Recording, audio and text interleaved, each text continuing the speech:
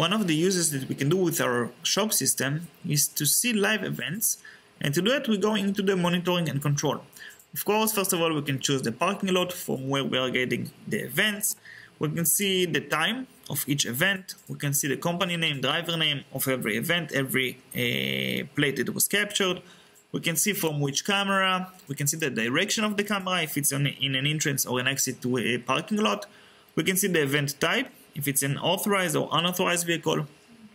If we press the license plate number, we will be able to choose to add a vehicle into the database. Of course, we add it to a company and we assign it to a parking group. If you don't, uh, don't yet know what is a company or a parking group, go to the videos explaining those uh, issues.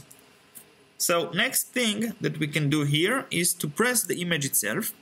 When we press an image, we get two images actually. One of them is the cutout of uh, the plate itself of the vehicle, and the other one actually shows us the entire frame so we can see what happened exactly in the moment when the vehicle was captured.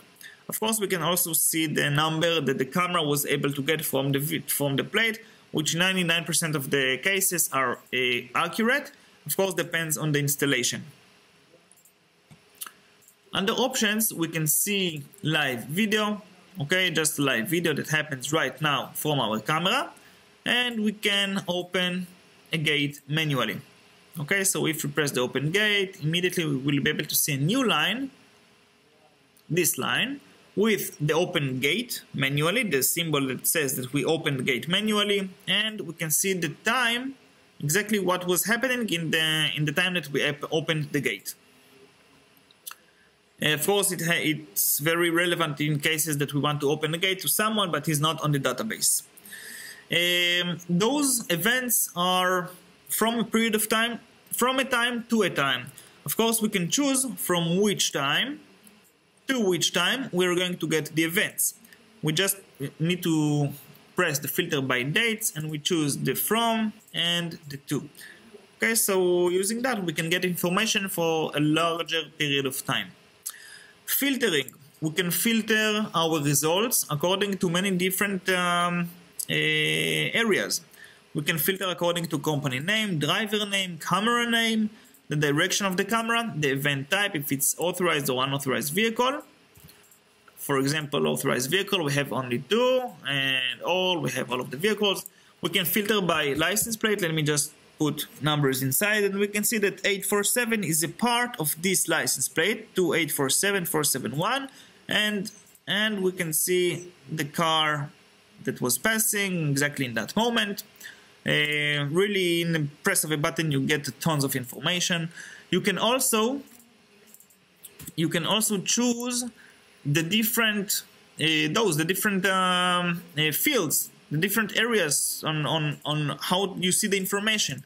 You see that whenever I uh, unswitch the buttons, the air, the screen on the back is actually changing according to the events that we choose. Okay, so if you don't want this, if you don't want the certain fields, you can just uh, unchoose them. Okay.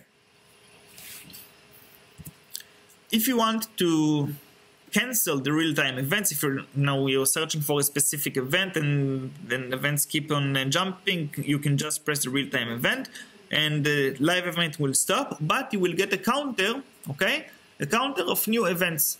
So basically, whenever a car will pass, I hope it will happen really soon, we'll, we will be able to see the zero changing to a different number. Okay, so let's give it a second maybe. And we can see the number one. Vehicle was passing in the background. So we know, uh, we can tell how many events we have missed. Once we release the button, we get uh, all of the events. Okay, another thing that we want to do is to be able to have an overview on our parking lot right? We have a parking lot with the spaces. So we want to know how many spaces are taken, how many not taken. So uh, how do we do it? We see here parking.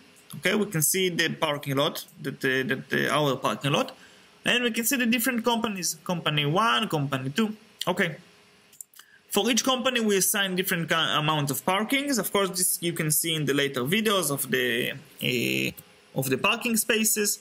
But basically, you can see that the total, total, parkings for uh, for this company is five. They occupied is zero. How many parkings are available? None.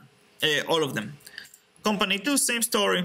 Okay, we have one parking lot that has 10 parking spaces. Each company takes five. So five for this and five for that. Of course, when we see show for all, when we choose show for, show all companies, we can see a total of 10 parking spaces. If we have parking uh, cars that are inside, and we want to remove those cars because they have left but hasn't been registered or anything like this, we can remove physically a vehicle from our parking lot or uh, do the vice versa. We can add him. This will add on the next version of the SHOB system. We will be able to, uh, to add a, a, car physically into our uh, parking uh, into the into our parking lot even if this vehicle hasn't been registered if it was accessed uh, manually or something. Okay. Thank you